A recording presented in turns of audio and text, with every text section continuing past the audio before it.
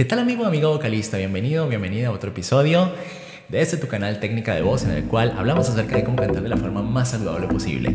Si no te has suscrito a este canal, te recomiendo que lo hagas. Vas a recibir videos cada vez que yo los publique y vas a aprender a cantar sin que te duela, que es lo más importante, sin dañarte la voz, ¿ok? Eh, hazle clic a la campanita, suscríbete y hoy vamos a contestar preguntas de ustedes. Hoy no era día de hacer videos para mí, pero me hicieron una pregunta que la verdad me pareció muy buena y quiero darles una instrucción más o menos completa a todos ustedes acerca de esto, que sé que a mucha gente le preocupa acerca del canto. Y es una pregunta de Carlos Soto. Carlos pregunta, eh, ¿cómo puedo cantar más alto? Referente a volumen, no a tono. Mis amistades dicen que canto bien, pero que no me escucha, pero que no me escucho, que cante más alto. Y entonces él está hablando no de tono, él está hablando es de de volumen, entre comillas, ¿ok? Eh, hay varias cuestiones, Carlos, y para todos ustedes, que, tienes que, tener, que tienen que tener en cuenta ustedes cuando deseen eh, aplicar potencia en la voz. Potencia en la voz es velocidad de aire, inyección de aire contra cierre cordal, ¿ok? Hay varias cosas que te van a proporcionar cierre cordal, pero vamos a trabajar una en particular que es la resonancia faringeo nasal o nasofaringea. Si yo digo, por ejemplo, y esto lo puedes hacer tú en tu casa en este momento, si yo digo, por ejemplo, si yo digo, mm, mm, mm, en este momento estoy empleando un sonido bastante gangoso, que no involucra absolutamente nada de aquí. Nada, ninguna, no siento ningún músculo del cuello en este momento activándose, ningún músculo de mi rostro que se está activando en este momento. Esto es algo importante de entender, porque este es el comienzo de enviar la voz al conducto correcto. Canto es enviar tu voz por el conducto correcto y que la voz se vaya por ahí sin regresar al mal hábito, ¿ok?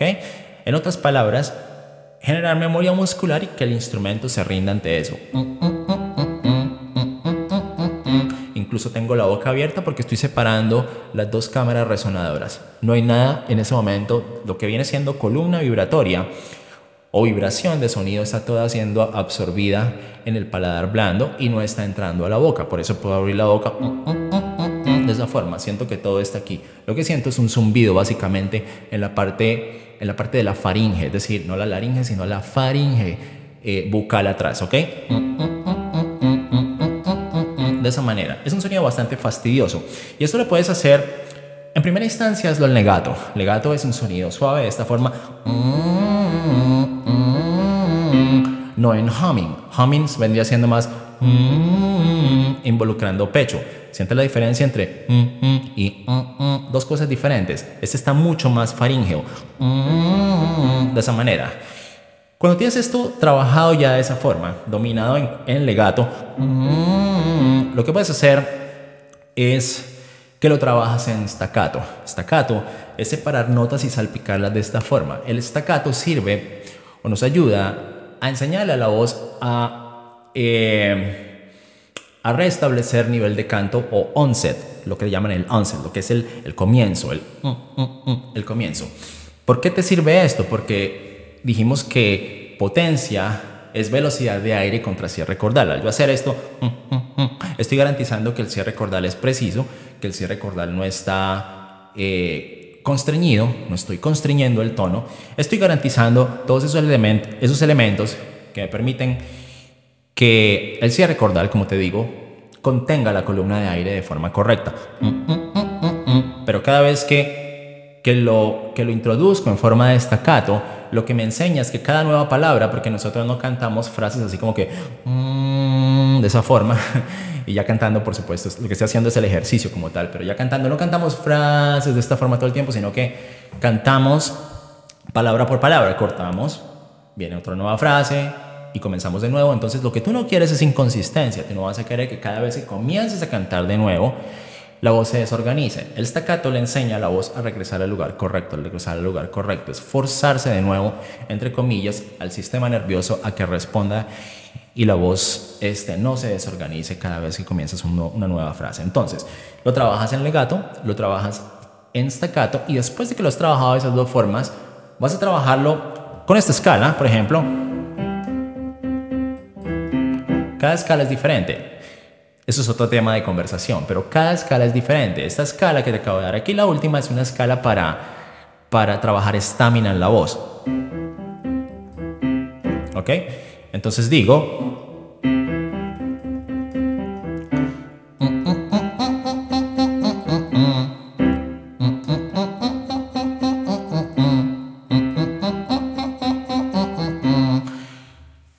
Y fíjate que mi rostro está relajado, no estoy haciendo fuerza, no estoy empujando absolutamente nada.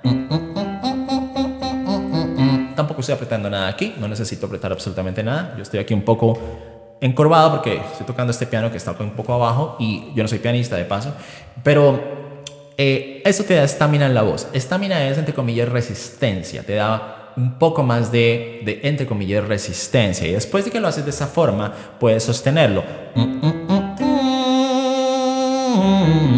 De esa manera. Personas que dicen que se quedan sin aire, este es un ejercicio supremamente bueno incluso con vibrato lo puedo hacer.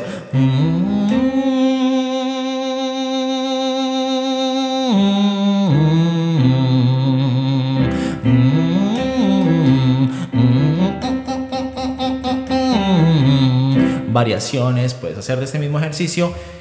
Y luego de que has hecho esto, vas a introducir una sílaba, como por ejemplo no, puedes decir no, no, no, no, sintiendo esa misma resonancia nasal, pero ya lo vas a normalizar, ¿ok? La segunda parte de la pregunta que le hacía es eh, referente a volumen, ¿ok?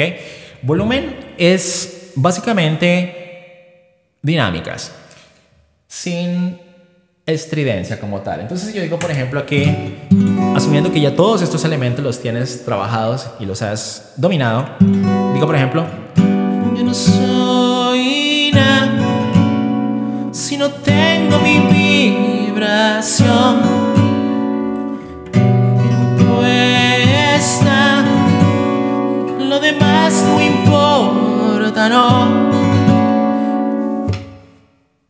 Diferencia entre inyección de aire. ¿Nota la diferencia? Na. Un poquito más de inyección de aire. En na. Yo no soy na. Si no tengo mi vibración. Bien puesta. Bien puesta. Y todo aquí. Bien puesta. Lo demás no importa, no. Estoy poniendo un poco más de inyección de aire para para exponer el punto, exponer la situación de la potencia. Sin embargo, no emplees tanta potencia, no hay que emplear tanta potencia tampoco cuando se canta. Lo que tú crees que escuchan los demás es muy diferente a lo que tú escuchas. Ahora, si te dicen directamente que estás cantando muy bajo, te recomiendo que emplees esta resonancia que es es el resonador de la amplificación. Fíjate que no estoy empleando fuerza en este momento. Es, ah, de hecho, es muy suave. Para mí no es algo difícil. Yo no soy nada si no tengo mi vibración. Me puesta. Lo demás no importa, no. Optimismo me acelera hace ver la luz,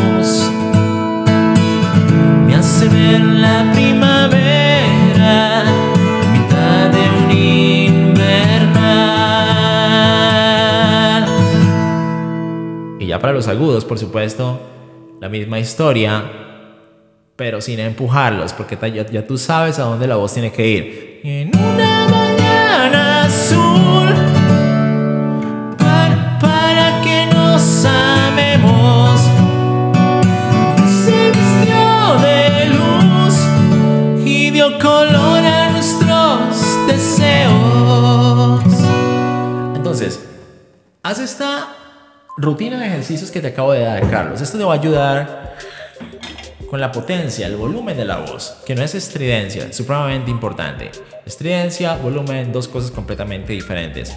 Cantar con potencia es proyección de voz, ¿ok? Son es la combinación de elementos que te acabo de dar anteriormente, hechos de la forma correcta. Eso te va a dar proyección en la voz, va a hacer que la voz eh, corte la frecuencia, como se dice, es decir, viaje en espacio y te escuchan las, personas que, que obviamente tu, tu, público, ¿ok?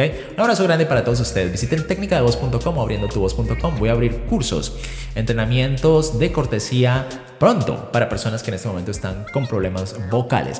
Vas a recibir lunes de Pro Tips también, invitación a cursos eh, que solamente comparto en áreas de membresía, no por YouTube. Eh, y es gratis tu suscripción. Puedes hacerlo en técnicadevoz.com o en abriendotuvoz.com. Suscríbete a este canal, comparte este video, no seas egoísta para alguien que tú sepas que ama cantar o que quiere aprender a cantar. Y nos vemos aquí pronto en este mismo canal. Eh, los quiero mucho, chao.